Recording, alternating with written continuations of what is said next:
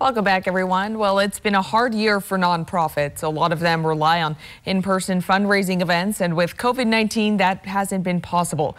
I met with a local organization who delivers gift baskets to cancer patients and their families at treatment centers, and I spoke with one of them who's doing what they can despite restrictions. Tonight, we learned the story behind Forever Fighters. It's been nearly 10 years since Mackenzie Fish started changing the lives of cancer patients in Washington. She's the founder of Forever Fighters, a nonprofit that supports babies, children, teens, and their families during their cancer journey.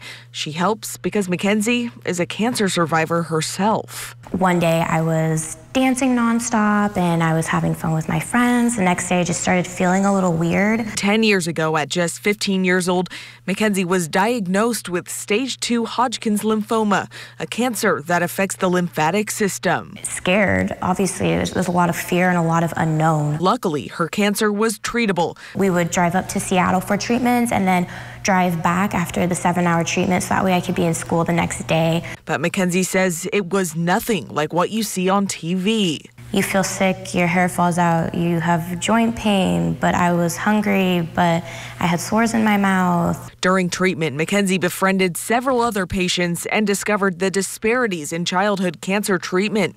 She's met with children given doses of adult chemo and babies undergoing clinical trials. Joan Stewart with the Tri Cities Cancer Center says we've come a long way in treating childhood cancer, but there's still work to do. 50 years ago, we only could offer five year survival to about 50% of the children.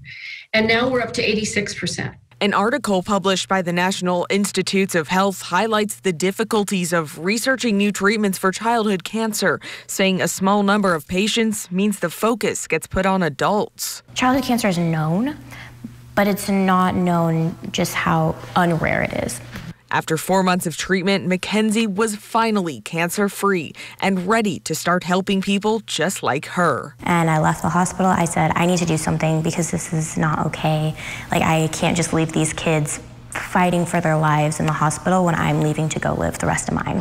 So she started her nonprofit, and they're still going strong despite the pandemic. COVID stopped just about everything. But our mission does not stop, cancer does not stop, and so that's one thing that I had to figure out how we can keep moving. She's even partnered with the Cancer Center to create a guide for young cancer patients. Kenzie is a very special person, and I'm so encouraged by who she is and what she gets done.